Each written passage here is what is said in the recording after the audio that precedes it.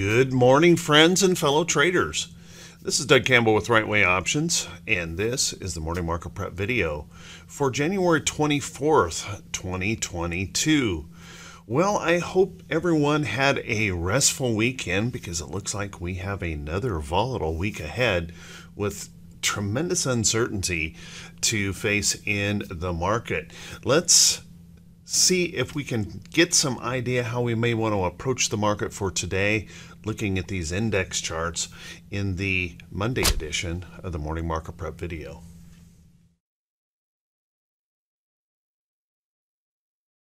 Good morning once again, everyone, and thank you so much for being here. I do truly appreciate it.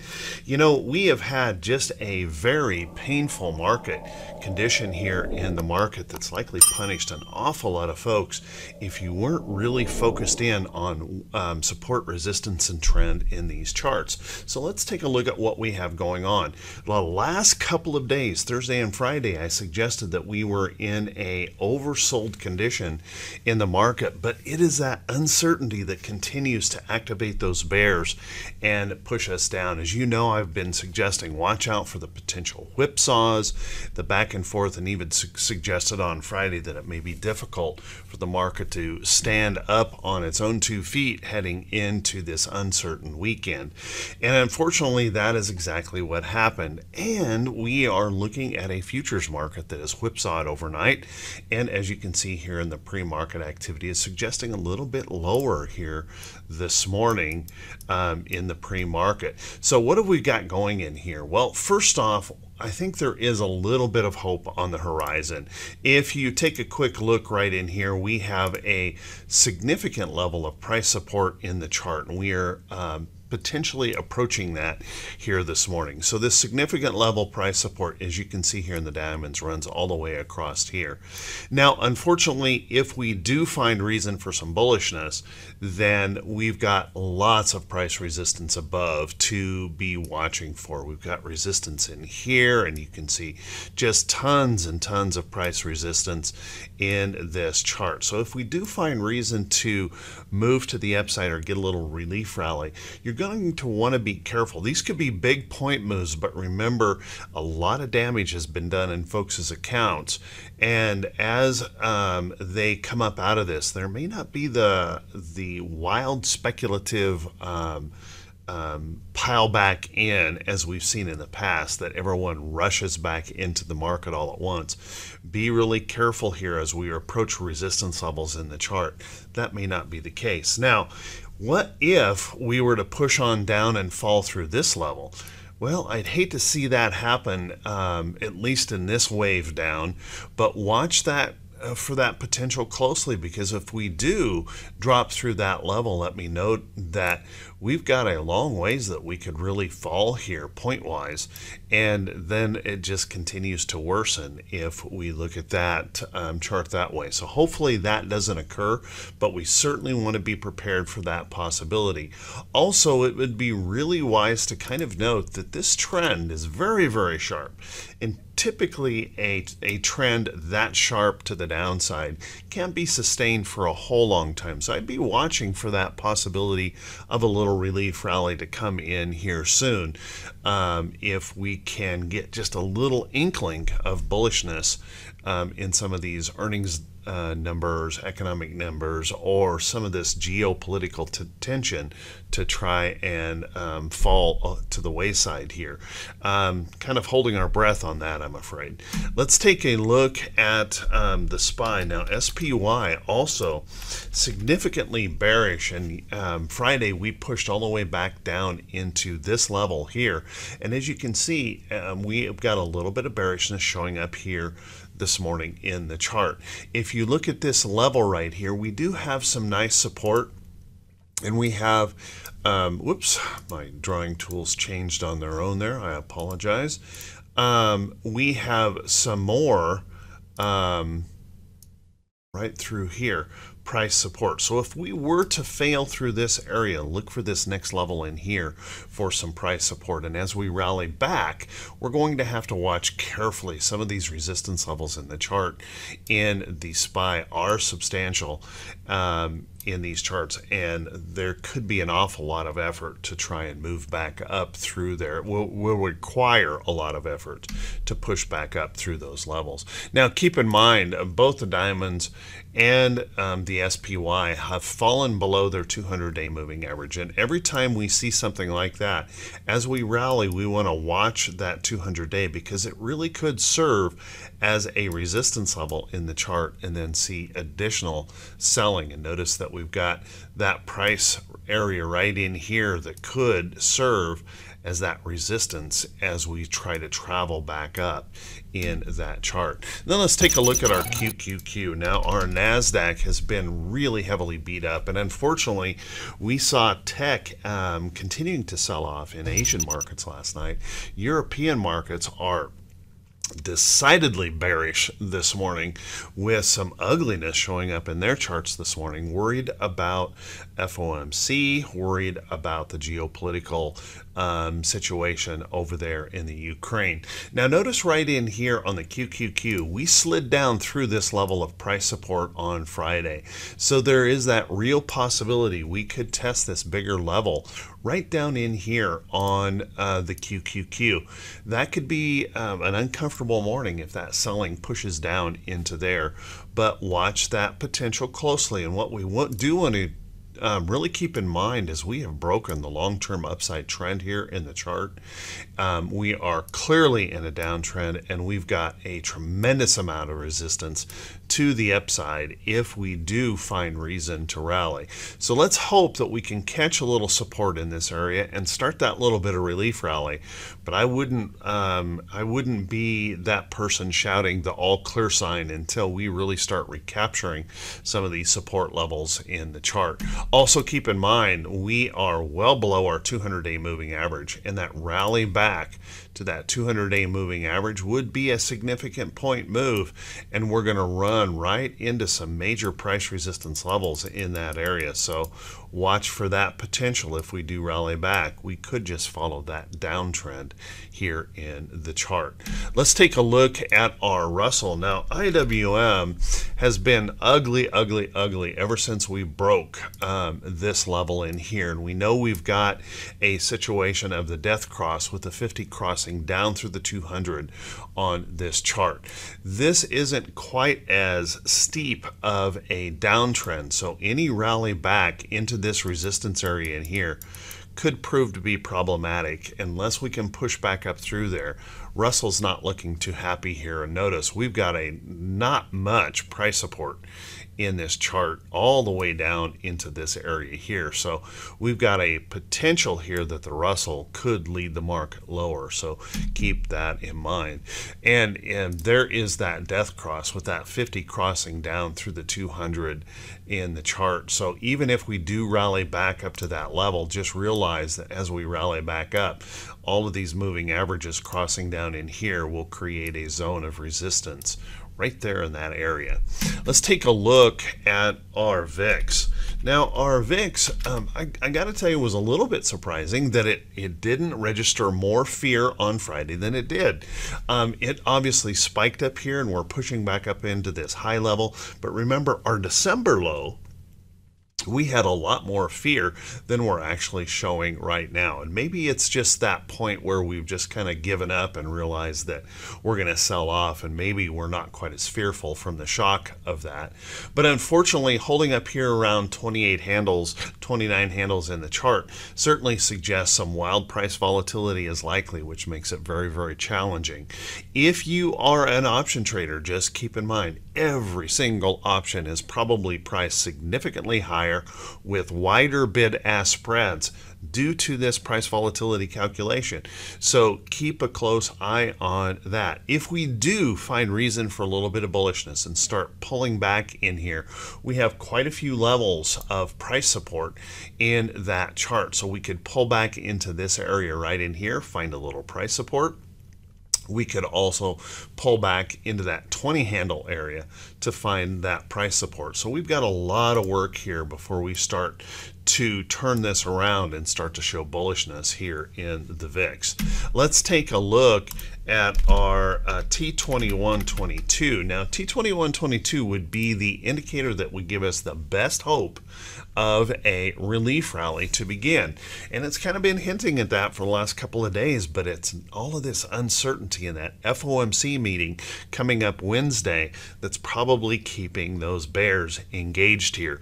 So let's keep a close eye on this. We are certainly extremely oversold in the market, which would suggest if we could get a relief rally, it could be rather substantial. But remember, um, some of that wild speculation money has been lost in those accounts here recently, and it may not be as energetic or robust as we have experienced in the past. So watch that carefully if we do start coming up. Let's take a look at that T2108. Now, T2108 um, gave us some uncomfortableness here in um, that chart, noticing that we were pushing down pretty substantially. Only 22% of our stocks holding above their 40 day moving average. And let's keep in mind, not quite as bad as it was in December. So that gives us a little ray of sunshine of hope in here that we could bounce in this area and start picking back up. But let's just keep in mind, this continues to be in a substantial downtrend. The same thing with T2107, the number of stocks above the 200 day moving average. Notice that we were holding on to that little bit of hope that maybe we were coming around here in this chart, but we have certainly failed back down through these levels of price support in the chart, continuing to provide that downtrend. Now, we've got 27, 28% of our stocks below the, the 200-day moving average. So what that would suggest to us is that um, we are reaching that extreme oversold uh, position in the market, and a bounce hopefully will be within, um, well, soon. Um, but we may have to wait until we get past that FOMC before we get going to the upside. Let's take a look at our T2101. Now, T2101 typically rallies when uh, and moves up when we are in a selling wave in the market. This has been really volatile in here, and you can notice right in here we're pushing back above that downtrend, back above this price support level in the chart. So if this were to pull back, if we were to get some bullishness and this were to pull back, we'll want to watch that area right in there where we might bounce and move on higher with another wave of bears attacking the market. Let's take a look at our economic calendar for today. Now, our economic calendar isn't a real heavy day, but we do have something on here we want to be paying attention to. Let's keep in mind that these economic numbers have really been hinting at the possibility of a economic slowdown. And when we think about the Fed raising rates and, and pulling back on that money supply, that would certainly support that idea. Typically, when the Fed pulls back on money supply, when they raise interest rates, the purpose is to slow the economy. So keep an eye on that. But we've got this PMI flash here this morning. I'm not, I don't know if we'll get a huge market reaction to this unless they miss on this number.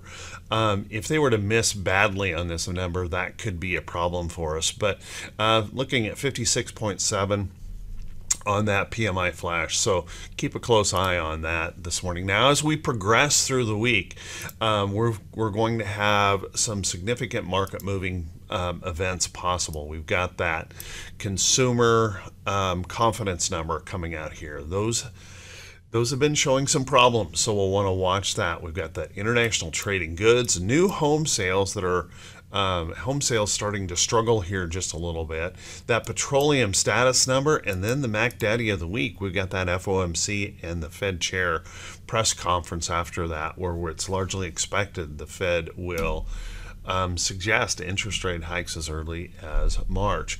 Keep a close eye as we progress into Thursday. It's not going to get any easier. Durable goods and GDP, jobless claims coming into play, and then the personal incomes and outlays on Friday. So as you plan forward, just take a look. We've got quite a few events that could keep that volatility high in the market.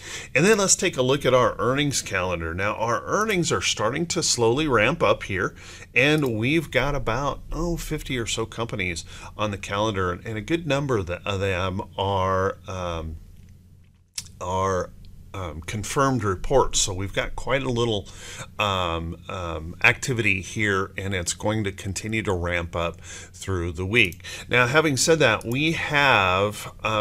I pulled out some of the notables for today, and if um, you guys want to see the full list of notables, and I would recommend you start checking the blog because as we ramp up on these earnings reports, um, there's no way I will be able to recover all of the uh, those notables in a morning report, just like today. So let's take a look at BOH. Um, BOH will be reporting today. Keep an eye on that. We've got CR reporting. Um, kind of an uncomfortable pattern here where we've double topped and maybe breaking that trend. So that would be an important report today. Keep an eye on CR. We've got Halliburton.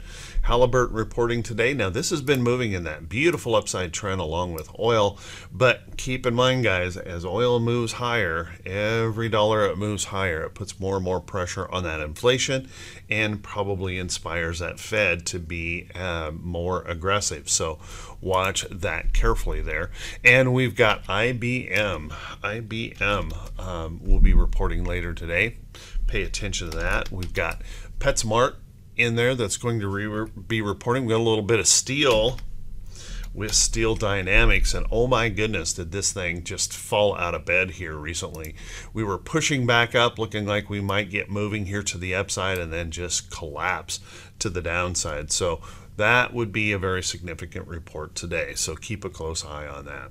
Let's take a look at some stocks that could be setting up. But before we do that, guys, if you could do me a quick favor, if this is the first time you've seen these videos, if you could please click that subscribe button on YouTube and then also click that bell icon when it pops up so you'll be notified every time I post one of these videos.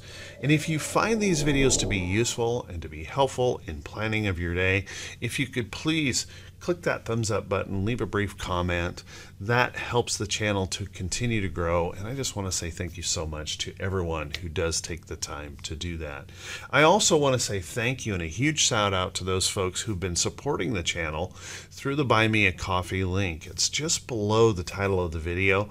If you want to support this kind of content without all the hype and all of the prediction in the market, um, there's an opportunity there. And I just want to say thank you, thank you, thank you so much for everyone who does take the time to do that. Let's take a look at some of these stocks setting up. And please keep in mind, guys, these are not recommendations to buy or sell any security.